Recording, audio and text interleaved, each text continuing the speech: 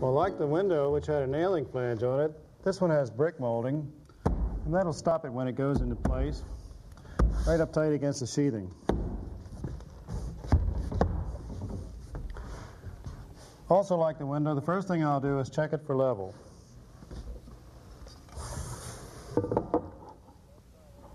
Okay, this left side has to come up a little bit. I'll put my flat bar under there and raise it and hold it with a shim shingle. Just to back up a little bit, if this were a new house, this threshold would be sitting on the subfloor. When you raise it to level it, this creates an airspace. Normally, I would set this in a bed of caulk, and when it's finished, caulk around the edges.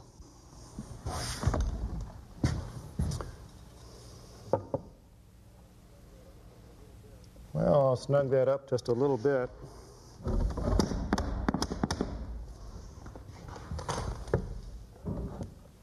All right, that's good. Now I'll check the side for plumb. Plumb means perpendicular to level or directly to the center of the earth. This could be a mistake using a four foot level on the brick molding like this because the molding might not be straight. The level reads plumb. I'll check it with this straight edge. And this one is straight. All right, it's ready to nail. Just like the window, I'm going to start at the top corner, put a long finish nail through here.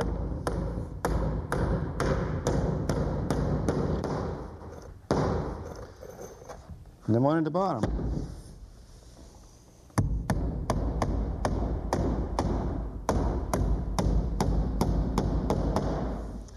Check the other side.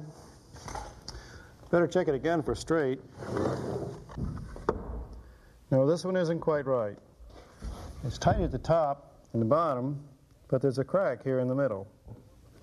If I can use my four foot level against the straight edge, and it reads top to bottom. And this side is plumb, so I'll just need to nail it. Again, I'll nail the top and bottom.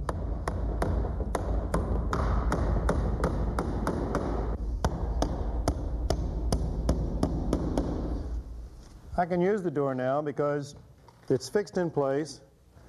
The threshold and the head are level, and the sides are plumb, but it's not finished.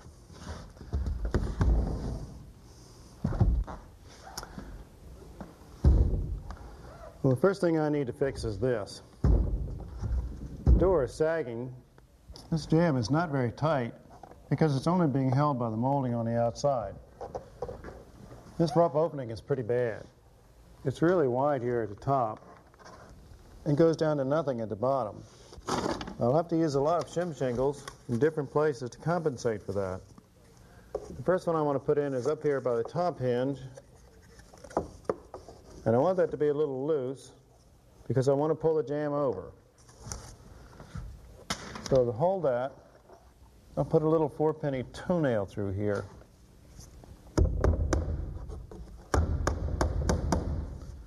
And then I'm going to nail through the jamb into the framing. Now these are 10 penny finish nails. They're going to go right through that shim and into the framing.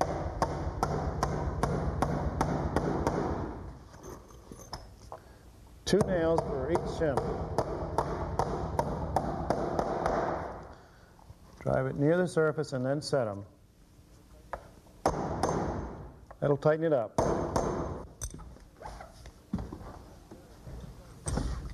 Well, that's better, but it looks like it still needs a little more. I'll take that out with the screws through the jamb.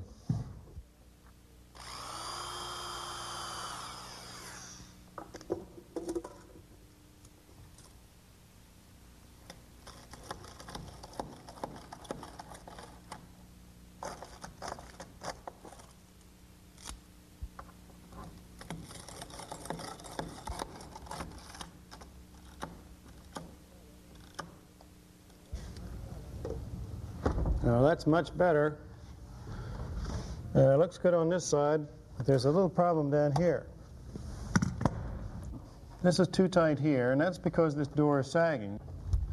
It wants to pull on the top hinge and push on the bottom hinge, and this movement shouldn't be there. This jamb should be fixed to the frame.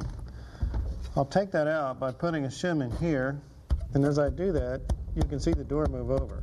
That's about the right margin, so I'll nail it. Normally I'd use my straight edge against the jamb to check it for straight, but I can't now because these wedges are in the way. And so I'll use the margin on the door to check it.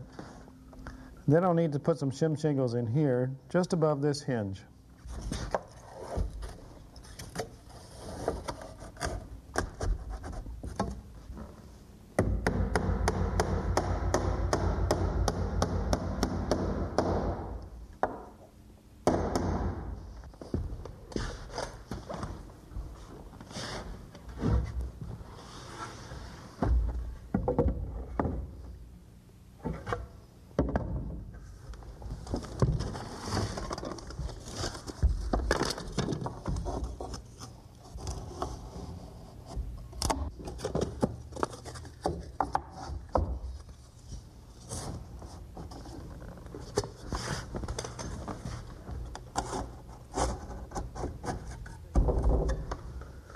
As you can see, I've had a little trouble keeping this door closed.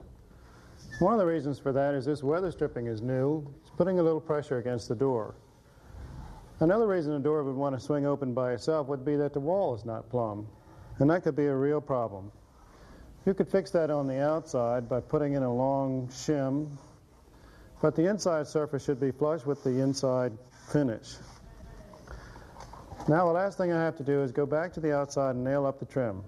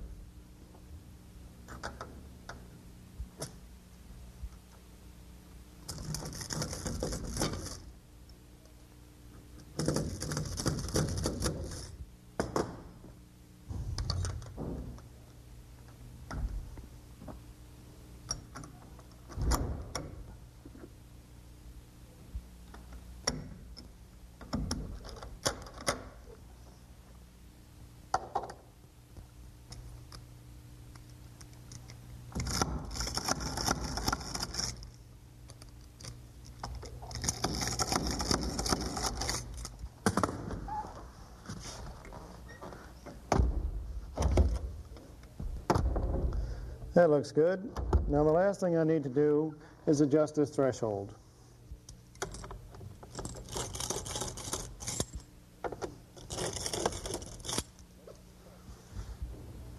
A little too tight.